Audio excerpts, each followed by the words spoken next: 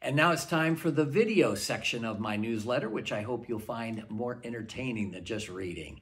So I wanted to give you a quick update about the Carmel Police Station, the addition to the existing building. As you may remember, we had 25,000 square feet in our uh, Carmel Police Station that was built almost 30 years ago. The new addition is going to be add another 50,000 square feet. Everybody has been inside the building while it's been under construction. It's been uh, occupied. So kudos to the employees who have put up with all that. So the um, existing is scheduled to be complete in July, maybe early August, depending on weather, and the addition should be done by this November, early November. So we're all getting very excited about all of the advantages that this new police station will bring to our police force and all the employees who work there. Just a couple little tidbits. All the limestone that you're seeing out there has been sourced from uh, uh, local Indiana quarries. That's kind of fun. The masonry work, a lot of people were asking me, why is the building going to be black? Well, that was just the prep for the masonry. Uh, they've been working on it for about eight weeks now. And guess what? We still got six more weeks to go. It's very intricate. Really hope you'll take a look and admire uh, the quality of workmanship that's been put into that. Chief um, Deputy Chief Brady Myers is uh, the uh, he's chief of administration. He's been in charge of the project, and when I spoke to him about this quick update, he was really complimentary of all the employees, how they put up with noise and dust and um, moving, you know, living out of boxes during this construction period. So. All of us, all of the taxpayers, we should be very thankful to our very dedicated employees who are doing what it takes to get this project completed. Other thing I wanted to just draw your attention to, obviously, Carmel Fest is just around the corner, July 3rd and 4th.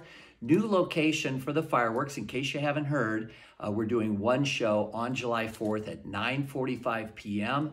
We'll shoot, we'll launch from the Carmel Ice Skadium right there at Carmel Drive and 3rd Avenue. Gives me a lot more room to work. It's a little bit more industrial right there, so I, I'm using some larger shells do want to remind you that if you are anywhere near an FM radio during the show, it's going to be 30 minutes long. Everything, the entire show is synchronized to music. And I don't mean just a soundtrack. If it's a red shell, that will match with the word red in any of our music, hearts, smiles, all that kind of stuff. So check it out 91.3, our beloved WHJE FM, uh, Carmel High School, home of the Greyhounds but you cannot stream it on your cell phone. If you stream it out there, it's going to be delayed and it won't be truly synchronized. How do we pay for all this? One of the ways is a 29 year tradition, Carmel Fest Spark Buttons. I'm wearing one right now. They're just $10. Inside each packet is a coupon card that allows you to get discounts and freebies and coupons from local merchants. There's a really cool Carmel Fest mug at All Things Carmel, absolutely free. We're at Farmers Market on Saturday. We're at Wednesday Gazebo Concerts. We'll be selling during the parade or pre-parade um, out there on the parade route, and then I'll be running around selling them at Carmel Fest.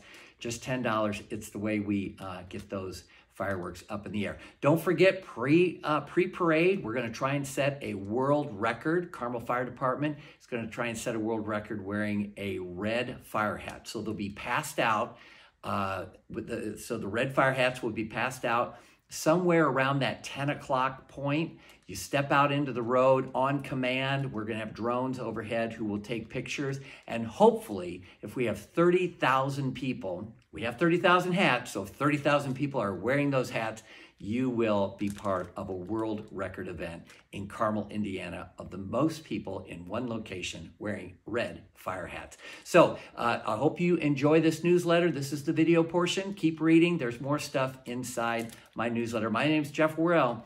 Please let me know how I can serve you better.